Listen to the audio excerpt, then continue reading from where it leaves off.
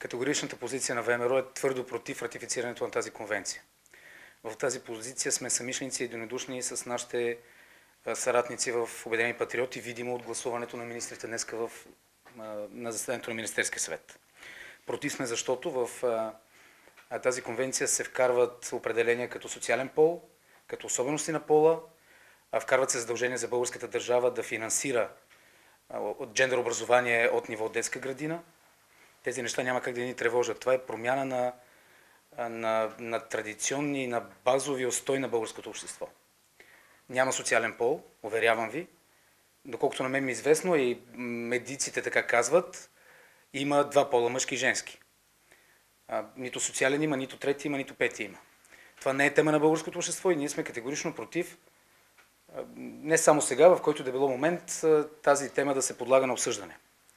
Подкрепят ни много религиозни и неправителствени организации от почти всички деноминации, представени на територията на Република България. Нашите народни представители ще гласуват аргументирано против ратификацията на тази конвенция. Чух неубедителни аргументи от страна на някои представители на Министерския съвет, като например аргумента, че тя била подписана и ратифицирана от 17 държави, като истината е следната. Тази конвенция не е само в рамките на Европейския съюз. Тя е подписана и обсъждана в много по-широки рамки. 26 държави са подписали и ратифицирали. В 19 от тях са разрешени или еднополови бракове, или фактическо съжителство. Не е подписана, но не ратифицирана е от 17 държави между които са Великобритания, Република Ирландия, Исландия, Люксембург, Лихтенштайн, Латвия, Литва, Украина, Молдова, Словакия, Унгария, Чехия, Харватска, България, Македония, Гърция и Кипър. Това означава, че в тези общества има сериозен разговор по тази тема. И тези общества не желаят да променят своето законодателство по този начин. Позволете ми да разсея още една, ще нарека заблуда, за да не казвам лъжа по темата. А именно, че целта на конвенцията е борба с насилието срещу жени и деца насилието над жени и деца, изобщо насилието е нещо укоримо и престъпно. И то се преследва от Българският наказателен кодекс. Преследват се от Закона за защита от домашно насилие и се преследва от Закона за защита на децата. Някой ще каже, но тези законодателства не спомогнаха миналата година да не се случат няколко отвратителни трагедии, в които жертви на домашно насилие се бяха оплаквали многократно и институциите не взеха мерки. Но тук проблема не е в текстовете. Тук проблема е в правоохранителните и правораздавателните органи. И с подписването и ратифицирането на една конвенция това няма да се промени.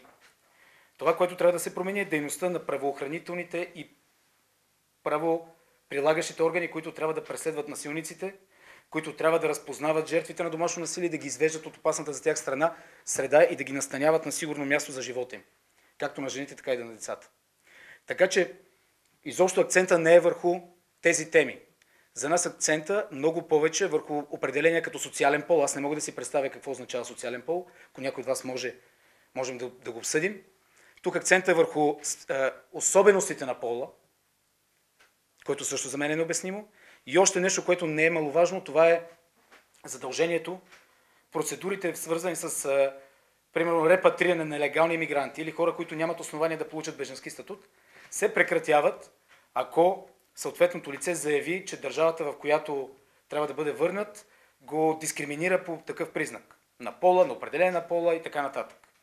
Това вече се е случило в България. Има много от вас са правили репортажи за, за такива лица, които се позовават на своя живот, личен живот, за да получат беженски статут, какъвто не им се дължи, защото нямат основание да го получат.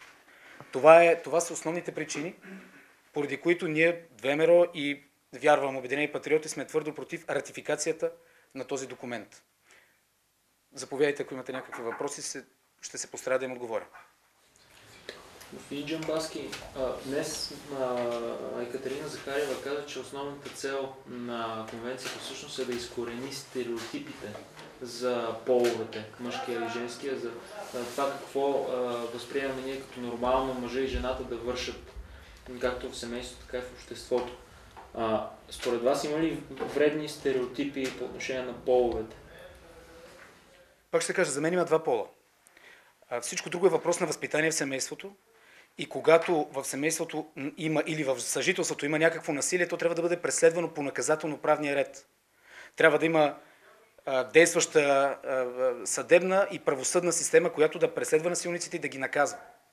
Няма как да се получи през конвенция или през какъвто и да било такъв документ да променя стереотипи на пола. Няма да се случи това нещо.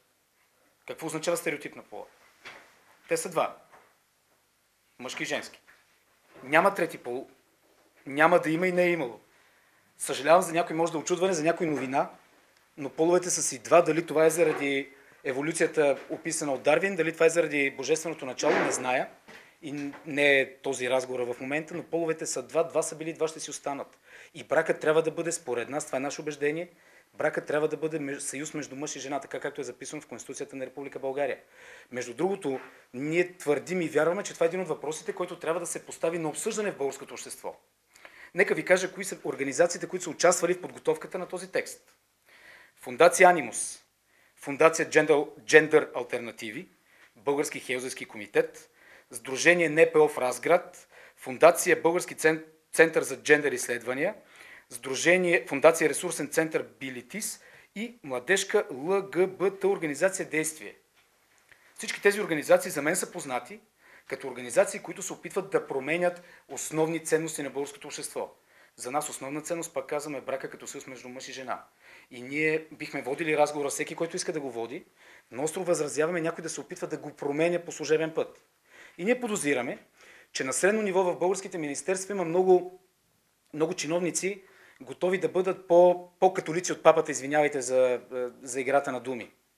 Защото по начина по който бяха проведени преговорите за членство на България в Европейския съюз и бяха затварени бързо-бързо глави и някои чиновници се правиха на много големи европейци тогава, резултатът е видим. Няма да го изреждам, но, ще спомена само реакторите, земеделието и така нататък. Ние подозираме, че и сега някой е по, по-католик от папата. И много бърза да, да вкара тези промени. Нека да чуем обществото, нека да чуем българските данакоплаци, нека да чуем тяхното мнение за това какъв трябва да бъде, какъв, какво трябва да е брака, каква трябва да бъде семейната институция. Дори, дори диктатурата на комунизма не си позволи да се меси в семействата толкова надълбоко. Говори се за социален пол. Това за мен е трети. Защото за мен, за мен са познати мъжки и женски. Когато се появи социалния пол, това вече е трети пол. Когато се появят особености на пола, специфики на пола, това вече е нещо различно от мъжки и женски. Когато се появят стереотипи на пола, това също е нещо различно от мъжки и женски пол. За мен. Аз така разбирам нещата. Може да не сте съгласни. Но това не значи, че не трябва да се проведе разговора по темата и да има съгласие в обществото за това какъв, какво трябва да бъде отношението към основната основната структура, структурна единица на обществото, именно семейството. И все пак какво ще промени след ратифицирането на конвенцията, след като не се предвиждат промени в Конституцията? Днес не се предвиждат. Утре някой ще се позове на тази конвенция и ще каже, но ние сме подписали тази конвенция и за това сега е редно да направим нещо следващо. Други ден някой друг ще дойде и ще каже, а, ама ние понеже подписахме конвенцията и в нея има стереотипи на пола или особености на пола, ние сега трябва да ги ще използвам чуждица, имплементираме в нашето законодателство. Дори да се приеме такава декларация, ние ще бъдем против ратификацията на конвенцията. Говоря за народните представители от ВМРО. Между другото, пропуснах началото да кажа, че това е позиция на моята група в Европейския парламент. Там моите самишленици аргументирано отхвърлят нуждата от такава конвенция. Всеки казва, насилието на жени и деца е нещо чудовищно и трябва да бъде наказвано най-строго, възможно най- най-строго. Но това не става, когато смесваш насилието на жени и деца с особености на пола и с въвеждането на социален пол. И не става, когато по това заглавие говориш за особеностите при получаването на беженския статут. Моля, аз може би греша и не чета правилно, но кажете ми каква е връзката на превенцията срещу насилие на жени и деца и особеностите при даването на беженския статут, защото аз не я виждам. Аз виждам по едно заглавие вкарване на такива теми, които, които са които са неприемливи за тази част от българското общество, която, която споделя моите идеи.